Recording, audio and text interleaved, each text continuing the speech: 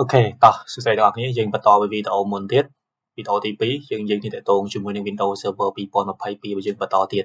អញ្ចឹងដោយអ្នកបានគឺខ្ញុំបើក Hyper-V Manager ស្រាប់បន្ត với វីដេអូមុនខ្ញុំបាន install Windows Server 2022ឥឡូវយើងធ្វើការ click connect ទៅកាន់ Windows Server 2000អឺខ្ញុំធ្វើការបើសិនខ្ញុំ use small monitor វាចេញមិនវិញចឹងតែ okay okay use small monitor វាមកចាប់ monitor របស់ខ្ញុំមួយទៀតអញ្ចឹងអឺ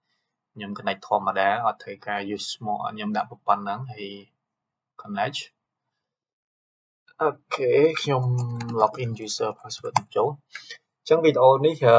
បន្តពីវីដេអូមុនអ្នកគ្នាឃើញម៉ោងខុសគ្នាតាមពិតជាក់ស្ដែងម៉ោងខ្ញុំកំពុង record នេះម៉ោង9ហើយតែនេះចេញម៉ោង7អញ្ចឹងដំបូងខ្ញុំចង់បង្ហាញនៅតងជាមួយនឹងការដូរនៅ setting មួយចំនួនព្រោះយើង install Windows Server យើងត្រូវការ promote វាទៅជា domain controller ឬក៏ មានគោលបំណងអីផ្សេងផ្សេងអញ្ចឹងយើងត្រូវការដូរ setting មួយចំនួននៅក្នុងហ្នឹងអញ្ចឹងខ្ញុំចូលមកកន្លែង search យកពាក្យ server manager អ្នកគ្នាឃើញកន្លែងនេះ license វាខ្ញុំចូលមកកន្លែង local server manager អ្នកគ្នាមកមើលកន្លែង time zone នេះវាអត់ទាន់ដូរទេអញ្ចឹងខ្ញុំអាច change time zone ទៅប្រទេសទៅស្រុកយើងគឺបាងកកហាណូយចាកាតាអត់មានកម្ពុជាទេ ចឹងខ្ញុំធ្វើការ refresh មួយមកវានឹងដូរទៅហើយវាចេញម៉ោង9ណាម៉ោងខ្ញុំកំពុង record លើលើហ្នឹងឈ្មោះ computer ក៏យើងត្រូវដូរដែរបើសិនជានេះយើងត្រូវការ window មួយនឹងយើងត្រូវការ promote វាទៅជា domain controller ណាអញ្ចឹងឈ្មោះហ្នឹងគឺត្រូវដូរឲ្យបានត្រឹមត្រូវហើយមកព្រោះតែកាលណាយើងដូរឈ្មោះហើយយើងអត់ចេះតែដូរញ៉ៃញ៉ៃទៀតទេព្រោះគាត់ណាតែ promote ទៅជា domain controller ហើយ យើងដូរឈ្មោះប្តីផ្ដាស់អាច error អាចបាត់នេះបាត់នោះអាចខូច server នឹងអត់អំពើថាបានដែរបើមិនយើងដូរអត់ត្រឹមត្រូវអញ្ចឹង plan ដំបូងហ្នឹងគឺសំខាន់ណាស់ឈ្មោះ computer បើមិនយើងមានគោលបំណង promote Windows server ហ្នឹងអញ្ចឹងគោលបំណងរបស់ខ្ញុំនៅវីដេអូបន្ទាប់ខ្ញុំនឹង promote Windows ហ្នឹងទៅជា Windows server នឹង promote Windows Server ហ្នឹងទៅជា domain controller ណាទៅជា domain ដើម្បីឲ្យអាច user គាត់ join domain ជា end user គេ group share permission អីផ្សេងៗអញ្ចឹងខ្ញុំនឹងដាក់ឈ្មោះ server នឹងថា DC 1ណា DC 1ហើយខ្ញុំធ្វើការ save អានេះវាឲ្យ restart ខ្ញុំអត់ទាន់ restart ទេខ្ញុំដាក់ restart error ហើយអ្នកគ្នាមកមើលកន្លែងពាក្យថា activate activate real time ឬយើងគេថា not activate ខ្ញុំបាននិយាយថា Windows របស់យើងគឺវា free license ត្រូវឯ free 180ថ្ងៃក៏ប៉ុន្តែដោយសារតែវាអត់ connect internet អញ្ចឹងវាអត់អាច free បានទេអញ្ចឹងខ្ញុំអាច back មកខាងក្រៅនេះហើយខ្ញុំមកយក setting ដើម្បីធ្វើការ set default switch ឲ្យវាមួយខ្ញុំចូលមកកន្លែង network នេះហើយខ្ញុំអាចយក default switch អញ្ចឹង default switch នេះគឺវានឹងចាប់យកអឺ យក IP computer របស់ខ្ញុំខាងក្រៅដែលខ្ញុំកំពុងតែ record ខ្ញុំអាច IP config អ្នកនរគ្នាមើលបន្តិចវាចាប់យក IP របស់ខ្ញុំនេះណាវានឹងចាប់ share NAT ចេញពីហ្នឹងទៅគឺ192ប្រមាណប្រមាណហ្នឹងវានឹង share ទៅពីហ្នឹងអញ្ចឹងខ្ញុំ apply អូខេហើយខ្ញុំបើក computer របស់ខ្ញុំវិញឃើញណាវា connect ហើយអញ្ចឹង វាចាប់បាន IP address ហើយខ្ញុំអាច refresh មួយមកចឹង activate នេះវានឹង auto activate ឲ្យខ្ញុំហ្នឹងអ្នកនាងចងចាំបន្តិចទៅចឹងខ្ញុំអាច test មើល Windows របស់ខ្ញុំចាប់បាន IP ប្រហែលអឺ IP config វាចាប់បាន172ដែលតែវា share NAT ចេញមកណាវា share វា share ចេញពី adapter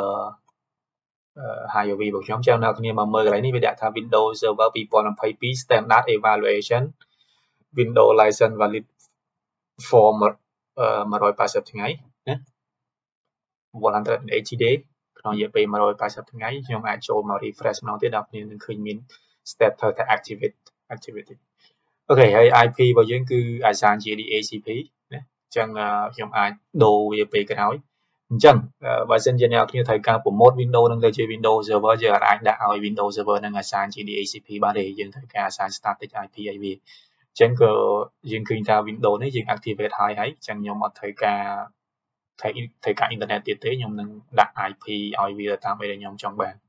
អញ្ចឹងខ្ញុំអាចដាក់ IP ថា172.19.254 for example ហើយ subnet 255.255.255.0 file 24 256 IP ខ្ញុំដាក់ gateway ឲ្យវា192.16.9.1ហើយ DNS គឺខ្ញុំដាក់អឺ IP របស់ server ហ្នឹងជា DNS របស់វា99254 uh, you might enter the number 255អូ255ខ្ញុំដាក់2អូខេ អញ្ចឹងខ្ញុំអាច refresh ម្ដងទៀតមកយើងមកមើល IP របស់យើងវាវាលែងអាសាន GDHCP ហើយខ្ញុំអាចដោះ IP version 6ចេញកុំឲ្យឃើញយ៉ាងងាយយ៉ាងនៅហ្នឹងយើងរៀបចំ setting របស់យើងមួយចំនួនឲ្យស្រួលមកអញ្ចឹងយើងឃើញតែប៉ុណ្្នឹងអញ្ចឹង step បងប្អូនគ្នាត្រូវរៀបចំ Windows Server មុននឹង promote ទៅជា domain controller ទី1គឺ make sure Windows យើង activate ហើយ ដាក់ static IP ឲ្យវាតាមតម្រូវការរបស់យើងដូរម៉ោងដូរអីឲ្យត្រឹមត្រូវទៅហើយបើត្រូវការ update អី update ឲ្យចប់ទៅហើយទៅហើយឈ្មោះ computer ហ្នឹង plan ដាក់អីគេទៅជា DC មួយដូចខ្ញុំបានដូរអញ្ចឹងខ្ញុំ plan ជា DC មួយខ្ញុំដាក់ជា DC មួយឲ្យហើយអញ្ចឹងនៅពេលដែលខ្ញុំ restart អញ្ចឹងខ្ញុំដូរហើយខ្ញុំធ្វើការ restart អឺកន្លែងនេះវានឹងសួរថាយើងមានធ្វើការអីអត់ចឹងដាក់ថា unplan ហើយខ្ញុំ restart អញ្ចឹងនៅពេលដែល យើង restart យើងនឹងទទួលបានឈ្មោះថ្មីអី configuration អីថ្មីថ្មីទាំងអស់ដែលយើងបានកែហ្នឹងអញ្ចឹងចាំឥឡូវខ្ញុំឲ្យកុំព្យូទ័រខ្ញុំ start ដល់សិនខ្ញុំនឹងបញ្ចូលដល់គ្នាបន្តិចកន្លែងហ្នឹងសំខាន់មែនទេព្រោះជីវត្តបិសោតជាក់ស្ដែងខ្ញុំធ្លាប់ដូរឈ្មោះ Windows Server មែនតើកន្លែងការងារ error កាំងចឹងតើជួបផ្ទាល់មែនតើទើបអាចប្រាប់អ្នកទាំងអស់គ្នាថាវាមានផលលំបាកមិននេះកន្លែងនេះដំបូងខ្ញុំ plan Windows Server ហ្នឹងទៅជាអីណាផ្សេងដាក់ឈ្មោះអឺឯណា ABC ដល់ពេលខ្ញុំចង់ត្រូវការប្រម៉ូតទៅជាសម្រាប់ខ្ញុំប្រម៉ូតអា Windows Server នឹងទៅជា domain controller register license អីត្រឹមត្រូវអស់ហើយចាំបើមើលឈ្មោះចុះមិនទៅ ABC វិញទៅពេល click ភ្លាមចុចមកដូរពុបដូរឈ្មោះ server ហ្នឹងក៏ដូរខ្វោក error ទាំងអស់អញ្ចឹងសំណាងដែរមាន backup ចឹងបាន backup មកវិញយូរក៏បីតិចគ្នាអស់ អញ្ចឹងអាហ្នឹងគឺជារឿងសំខាន់មែនទែនដល់គ្នាត្រូវដូរឈ្មោះ computer អញ្ចឹងនេះគឺជារបៀបនៃការ configuration មួយចំនួននៅលើ Windows Server 2022របស់យើងមុននឹងយើងប្រមូលវាទៅជា domain controller អូខេវីដេអូយើងមានតែប៉ុណ្្នឹងហើយវីដេអូបន្ទាប់ខ្ញុំនឹងបង្ហាញពីរបៀបនៃការប្រម៉ូតវាទៅជា domain controller អរគុណជួបគ្នាវីដេអូបន្ទាប់បាយបាយ